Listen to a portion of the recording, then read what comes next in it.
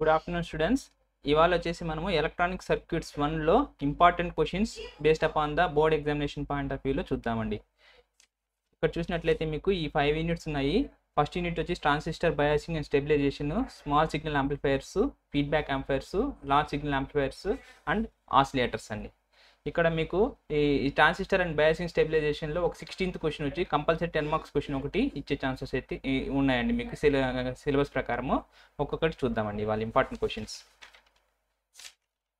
ఇక్కడ చూసినట్లయితే మీకు this is the syllabus for this transistor biasing and stabilization techniques as the మీ మీకు పేర్లోనే ఉంది? ట్రాన్సిస్టర్ బయాసింగ్ సో మనకేంటంటే ఈ బయాసింగ్ టెక్నిక్స్ మీద ఈ ఒక క్వశ్చన్ అడిగే ఛాన్సెస్ అయితే ఉన్నాయి. And the same thing what are all the stabilization techniques that that are used for the operating point to be fixed అనమాట దానికోసం మనం ఏం చేస్తున్నామంటే స్టెబిలైజేషన్ టెక్నిక్స్ వాడతాము. ఆ క్వశ్చన్ మీకు ఒక్కొక్కటి చూద్దామండి. ఏ ఇంపార్టెంట్ క్వశ్చన్స్ వస్తున్నాయనేసి దాంట్లో అంతకుముందు మీకు ఏం తెలియాలంటే ఆపరేటింగ్ పాయింట్ అంటే ఏంటి? ఏ ఏ ఫ్యాక్టర్స్ మీద ఎఫెక్ట్ అవుతుంది? And proper selection of the operating point ఇది మీకు ఒక్కొక్కసారి త్రీ మార్క్స్లు అడగచ్చు. లేదు మీకు ఫైవ్ మార్క్స్లు అడిగే ఛాన్సెస్ కూడా ఉన్నాయండి మీకు. తర్వాత మనకి ఈ స్టెబిలైజేషన్ టెక్నిక్స్ కొన్ని ఉన్నాయండి. వాటర్ స్టెబిలైజేషన్ ఫ్యాక్టర్స్ ఏవి ఉన్నాయి? దాని మీద కూడా అడిగే ఛాన్సెస్ అయితే ఉన్నాయండి. ఇక్కడ చూసినట్లయితే నీట్ కాన్సెప్ట్ అంతా the AC and DC load lines AC and DC load lines ఎలా గీస్తాము? ఒక సర్క్యూట్లో అది ట్రాన్సిస్టర్ యొక్క అవుట్పుట్ క్యారెక్టరిస్టిక్స్లో ఒక లోడ్ లైన్ గీసి అండ్ క్యూ పాయింట్ని మీరు ఎలా ఫిక్స్ చేస్తారు? అండ్ ఎక్కడ ఫిక్స్ చేసుకోవాలా? And what are all the factor that influence the Q Q point? దీని మీద త్రీ మార్క్స్లో అడిగే ఛాన్సెస్ అయితే ఉన్నాయండి. తర్వాత మీకు the factors effect in the Q point three మార్క్స్లో అడుగుతారండి ఇది. తర్వాత బయాసింగ్ సర్క్యూట్స్లో మీకు ఫిక్స్డ్ బయాస్ అంటే సపో మీరేం జస్ట్ మీరు సర్క్యూట్ డయాగ్రామ్ వేసి దాని సర్క్యూట్ యొక్క ఆపరేషన్ రాయాలండి. హౌ ఇట్ వర్కింగ్ ఎలా వర్క్ అవుతుంది? దాని గురించి రాస్తే సరిపోతుంది అనమాట ఈ బయాసింగ్లో ఫిక్స్డ్ బయాస్ ఒకటి ఉంది. నెక్స్ట్ వచ్చేసి collector to base bias collector to base bias circuit. ఈ సర్క్యూట్ డయాగ్రామ్ వేసి దీని యొక్క ఆపరేషన్ రాస్తే మీకు సరిపోతుంది అనమాట ఈ రెండింటిలో నెక్స్ట్ ఇంకోటి సెల్ఫ్ బయాస్ అనేసి ఒక టాపిక్ ఉంది. Or self bias or potential divider bias. దాని మీద కూడా అడిగే ఛాన్సెస్ అయితే ఉన్నాయండి. ఈ థర్మల్ రన్ అవే అనేది ఏంటంటే మనకి త్రీ మార్క్స్లో అడుగుతారండి. Thermal runaway and heat sinks.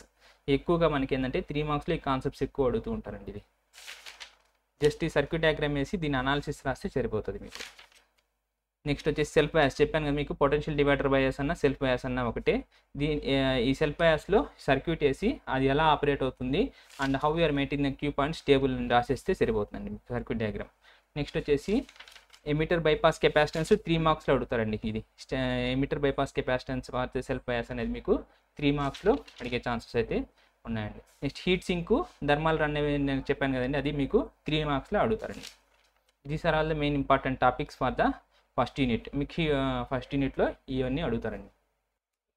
Next వచ్చేసి small signal యాంప్లిఫైర్స్లో important topics based upon the board examination point of view చూద్దామండి. స్మాల్ సిగ్నల్ యాంప్లిఫైర్స్లో మీకు ఏంటంటే మీకు CE CE CB in terms of H parameter మోడల్స్లో game అని చెప్పి అడుగుతారండి. దాన్ని రాసి and we have to find the four H parameters input impedance output admittance current forward current gain reverse voltage gain ఇవన్నీ కూడా మనము కనుక్కుంటామండి దీంట్లో. ఇది అడుగుతారు ఒక్కొక్కసారి. తర్వాత వచ్చేసి మీకు multi stage amplifiers need for multi stage amplifier three మార్క్స్లో అడుగుతాడు. నెక్స్ట్ వచ్చేసి RC coupled very very important topic అండి ఇది. RC coupled transformer coupled next direct coupled ఈ మూడిట్లోనూ కంపల్సరిగా ఒక క్వశ్చన్ అడిగే ఛాన్సెస్ అయితే ఉందండి మీకు.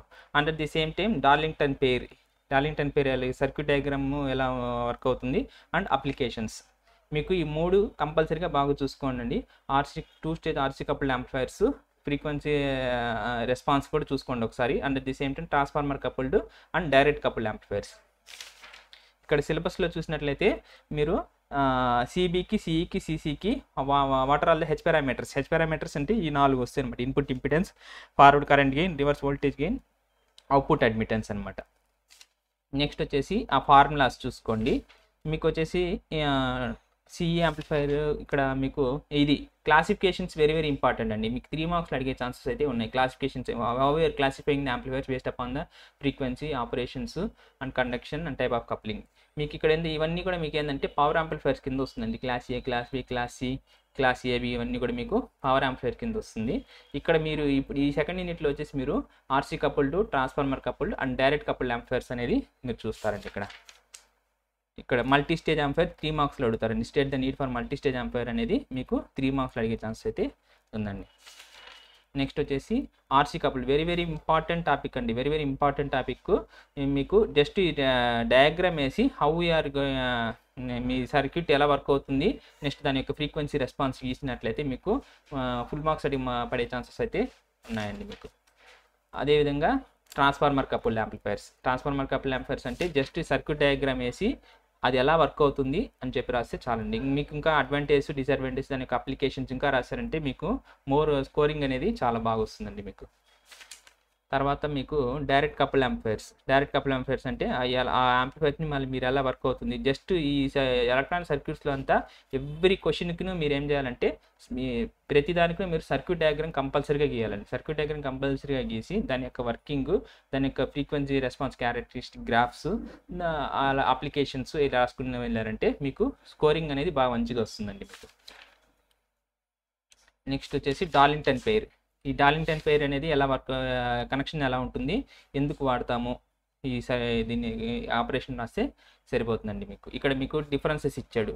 ఏ RC couple transformer coupled direct coupled. మీకు లాస్ట్ మినిట్ వెళ్ళేటప్పుడు ఈ ఇది మాత్రం చూసుకునేటట్లయితే దీన్ని బేస్ చేసుకొని కూడా మీరు క్వశ్చన్ రాసేదానికి ఛాన్సెస్ అయితే ఉన్నాయి. ఈ మూడిట్లో ఒక క్వశ్చన్ కంపల్సరీ వస్తుందండి మీకు. పెద్ద క్వశ్చన్ అయితే వచ్చే ఛాన్సెస్ అయితే ఉంది. నెక్స్ట్ వచ్చేసి మనకి థర్డ్ యూనిట్లో వచ్చేసి ఫీడ్బ్యాక్ యాంప్లిఫైర్స్ పేర్లోనే ఉంది ఫీడ్బ్యాక్ యాంప్లిఫైర్స్ కాబట్టి classifications of feedback amplifiers and different types of feedback amplifiers ఏ ఉన్నాయి అండ్ బ్లాక్ డయాగ్రామ్స్ ఎక్స్ప్లెనేషన్ చేస్తే మీకు ఒక పెద్ద క్వశ్చన్ అడిగి వచ్చే ఛాన్సెస్ అయితే ఉన్నాయండి. బ్లాక్ డయాగ్రామ్ ఉన్నాయి కదా voltage series current series current shunt voltage shunt ఈ నాలుగు బ్లాక్ డయాగ్రామ్స్ నేర్చుకునేసి అది ఎలా వర్క్ అవుతుంది అనేసి రాస్తే మీకు ఒక క్వశ్చన్ వస్తుంది. And at the same time positive negative feedback వల్ల అడ్వాంటేజెస్ ఏవి? And some of the parameters effects of negative feedbacks and gain bandwidth input and output impedances మీద ఎలా వేరీ అవుతుంది అనేది ఒక క్వశ్చన్ ఇది ఈ ఈ క్వశ్చన్ అని ఇవ్వచ్చు లేదంటే ఈ క్వశ్చన్ అని ఇవ్వచ్చండి. పెద్ద క్వశ్చన్ మీకు టూ ఇస్తారు ఏదర్ ఆరు క్వశ్చన్స్ ఉంటాయి కాబట్టి ఇది ఇది రెండు ఎక్స్పెక్ట్ చేయొచ్చండి మీకు. ఈసారి ఎగ్జామినేషన్ పాయింట్ ఆఫ్ వ్యూలో చూసినట్లయితే మీకు ఈ క్వశ్చన్ కానీ ఈ క్వశ్చన్ కానీ ఎక్స్ప్లెయిన్ చేయండి దీంట్లో వచ్చేసి పర్టికులర్గా ఒకటే అడుగుతారు అన్ని అడుగురు ఒకటే అడుగుతారు. ఏదో ఒక బ్లాక్ డయాగ్రామ్ గీసి దాని గురించి ఎక్స్ప్లెయిన్ చేయమని చెప్తారండి దీంట్లో.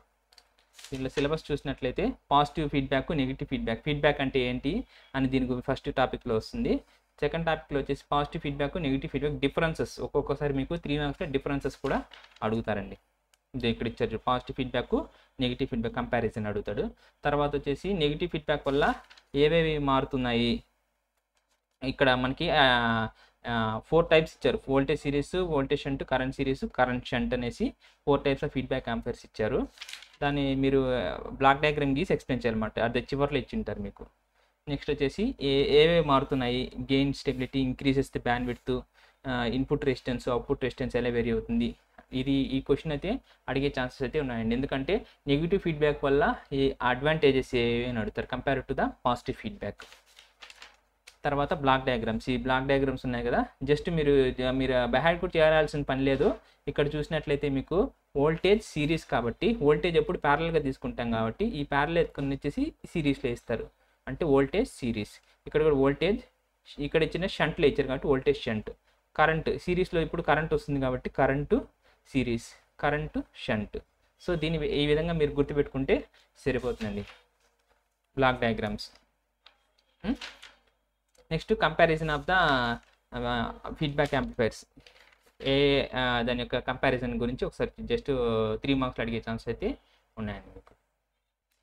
నెక్స్ట్ వచ్చేసి లార్జ్ సిగ్నల్ యాంప్లిఫైర్స్ ఇందాక చెప్పాను కదండి పవర్ యాంప్లిఫైర్స్ అన్న లార్జ్ సిగ్నల్ యాంప్లిఫైర్స్ అనేసి అంటాము. ఇక్కడ చూసినట్లయితే concept of class A class B class AB class C ఇవన్నీ కూడా మనము ఇందాక కూడా చదివాము. Based upon the classifications of యాంప్లిఫైయర్స్లో ఇక్కడ మీకు ఈ క్వశ్చన్ ఈ ఈ యూనిట్ చెక్ చేసుకున్నట్లయితే మీకు ఈ ఇది కానీ లేదంటే class B push pull power amplifier ఇది వెరీ వెరీ వెరీ ఇంపార్టెంట్ అండి. మీకు నెక్స్ట్ ఈ ఇప్పుడు కమింగ్ ఎగ్జామ్లో కంపల్సరీగా class B push pull power amplifier ఇచ్చే ఛాన్సెస్ అయితే కంపల్సరీగా ఉందండి.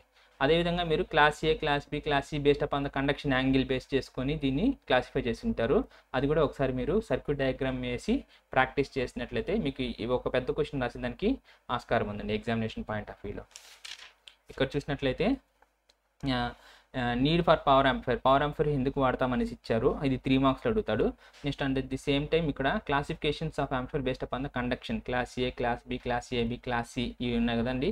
ఇక ఇది ఎలా వర్క్ అవుతుంది? క్లాస్ ఏ అంటే ఏంటి? అది ఒకసారి చదువుకోండి తర్వాత ఆపరేషన్స్ ఎలా అంటే based upon the conduction angle base చేసుకుని క్లాస్ ఏ అంటే ఫుల్ సైకిల్ క్లాస్ బి అనేది ఏంటంటే హాఫ్ సైకిల్ క్లాస్ సి అనేది greater than half less than three sixty degrees three పై కంటే కూడా తక్కువ ఉంటుంది. క్లా అంటే వన్ ఎయిటీ కన్నా తక్కువ ఉంటుంది.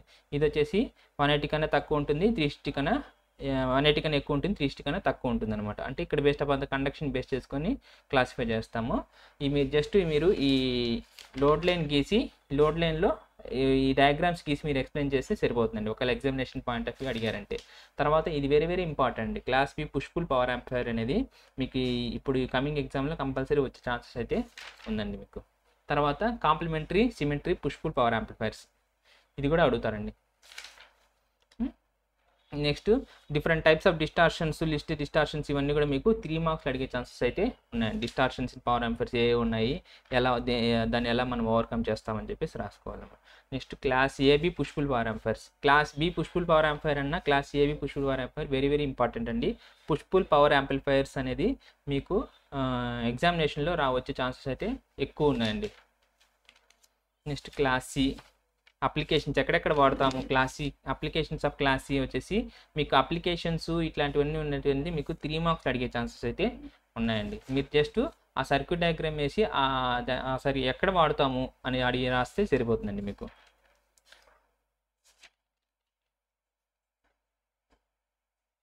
నెక్స్ట్ లాస్ట్ యూనిట్ వచ్చేసి మీకు చూసినట్లయితే ఆసిలేటర్స్. ఆసిలేటర్స్లో వచ్చేసి మీకు బార్క్ హార్సన్ క్రైటీరియా అని ఇస్తుందండి అంటే ఒక ఆసిలేటర్గా వర్క్ చేయాలంటే క్రైటీరియా ఏంది? అంటే బార్క్ హార్సన్ క్రైటీరియా దాని యొక్క కండిషన్స్ ఉన్నాయి. ఆ కండిషన్స్ రాస్తే సరిపోతుంది త్రీ మార్క్స్లో అడుగుతారండి స్టేట్ ద కండిషన్స్. ఈ ఆసిలేటర్స్లో మీకు RC phase shift LC oscillators Hartley Colpitts ఈ నాలుగు ఉన్నాయి కదండి. ఈ నాలుగిట్లో మీకు ఒక క్వశ్చన్ వచ్చే ఛాన్సెస్ అవుతుంది ఎక్కువగా వచ్చేసి ఆర్సీ ఫే షిఫ్ట్ అనేది ఎక్కువగా అడుగుతూ ఉంటారండి. ఆర్సీ ఫే షిఫ్ట్ ఆసిలేటర్స్ అనేది.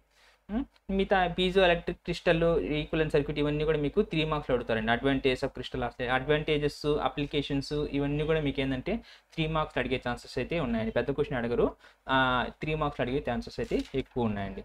ఇక్కడ చూసినట్లయితే మీకు ఆసిలేటర్స్ మీరు ఎలా డెఫినేషన్స్ ఎలా ఉంది? నెక్స్ట్ యాంప్లిఫైర్కి ఆసిలేటర్కి డిఫరెన్సెస్ ఒక యాంప్లిఫైర్ ఎలా వర్క్ అవుతుంది ఆసిలేటర్ ఎలా వర్క్ అవుతుంది. యాంప్లిఫైర్కి ఏం చేస్తామంటే ఇన్పుట్ సిగ్నల్ ఇస్తాము. ఆసిలేటర్కి ఏం చేస్తున్నామంటే మన feedback సిగ్నలే will act as a input. అందుకే మనం ఏం చేస్తున్నాం ఇన్పుట్ ఉండదు అనమాట ఇక్కడ. ఓన్లీ డీసీ ఇన్పుట్ మాత్రమే ఉంటుంది అవుట్పుట్ వచ్చేసి ఏసీ వస్తుందనమాట ఇది Barkhausen criteria two conditions ఉన్నాయి కదండి. ఇది వెరీ వెరీ ఇంపార్టెంట్ అండి. మీకు ఎగ్జామినేషన్ పాయింట్ ఆఫ్ వ్యూలో అడిగే ఛాన్సెస్ అయితే ఎక్కువ ఉందండి. తర్వాత మీకు క్లాసిఫికేషన్స్ ఆఫ్ ఆసిలేటర్స్ ఎలా వర్క్ అవుతుంది అనేసి ఆసిలేటర్స్ క్లా క్లాసిఫికేషన్స్ ఈ ఆర్సీ ఫేస్ షిఫ్ట్ ఇది వెరీ ఇంపార్టెంట్ అండి. ఫేస్ షిఫ్ట్ ఆసిలేటర్ జస్ట్ మీరు ఈ సర్క్యూట్ డయాగ్రామ్ వేసి ఆ వర్కింగ్ ఎలా వర్క్ అవుతుంది and how we're getting the output as a sinusoidal output ఎలా వస్తుంది. దీని గురించి మీరు రాస్తే సరిపోతుందండి ఇక్కడ. త్రీ ఫే త్రీ ఉంటుంది కాబట్టి దీని ఫేస్ షిఫ్ట్ అనేది ఆర్సీ ఆర్సీ ఆర్సీ ద్వారా మనకి ఏంటంటే ఫేస్ షిఫ్ట్ అనేది ప్రొడ్యూస్ అవడం వల్ల మనకి ఏంటంటే it will act as a ఆసిలేటర్గా work అవుతుందండి ఇక్కడ. అదేవిధంగా ఎల్సీ ఆసిలేటర్స్ ఎల్సీ ఆసిలేటర్స్ ఇది ఆల్సో అనేసి ట్యాంక్ సర్క్యూట్ అనేసి కూడా అనొచ్చు. ద ట్యాంక్ సర్క్యూట్ అనేసి అంటారు. దీన్ని ఎలా మీరు ఆసిలేటర్గా యూజ్ చేసుకుంటామని చెప్పేసి సర్క్యూట్ డయాగ్రామ్ ఉంటుంది దీనికి. జస్ట్ ఈ సర్క్యూట్ డయాగ్రామ్ వేసి మీరు ఎక్స్ప్లెయిన్ చేస్తే సరిపోతుంది అనమాట LC oscillators. LC tune collector oscillators అనేసి కూడా అంటారు. తర్వాత మనకి Hartley and Colpitts oscillators.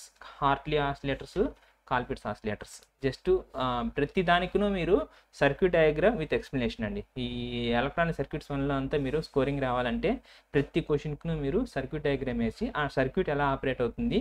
ఒకవేళ మీకు పెద్ద క్వశ్చన్ అడిగినట్లయితే అప్లికేషన్స్ అడ్వాంటేజెస్ ఇవన్నీ కూడా మీరు నోట్ చేసుకోవాలండి. అదేవిధంగా ఈ ఈ సర్క్యూట్ నేర్చుకుంటే కాల్పిట్స్ ఆసిలేటర్ సర్క్యూట్ కూడా ఈజీగా గీసుకోవచ్చు. సేమ్ సర్క్యూటే వీఆర్ రీప్లేసింగ్ ఇండక్టెన్స్ ప్లేస్లో కెపాసిటెన్స్ పెడతారు. కెపాసిటెన్స్ ప్లేస్లో ఇండక్టెన్స్ అనేది రీప్లేస్ చేస్తాం అనమాట ఈ సర్క్యూట్కి ఇలా రీప్లేస్ చేస్తాం. హార్ట్లీ కానీ కాల్పిట్స్ కానీ ఆర్సీ ఫేస్ షిఫ్ట్ కానీ పక్కాగా అడిగే ఛాన్సెస్ అయితే ఉన్నాయండి. తర్వాత మనకి ఇవంతా మీకు త్రీ మార్క్స్లో అడుగుతారండి. పీజో ఎలక్ట్రిక్ క్రిస్టల్ అనేది త్రీ మార్క్స్లో అడుగుతారు. తర్వాత క్రిస్టల్ ఆసిలేటర్ కూడా ఒక్కొక్కసారి ఫైవ్ మార్క్స్ క్వశ్చన్స్ లేదంటే ఎయిట్ మార్క్స్లో అడిగే ఛాన్సెస్ అయితే ఉందండి మీకు. జస్ట్ మీరు సర్క్యూట్ డయాగ్రామ్ వేయాలా? దాని ఆపరేషన్ రాయాలా?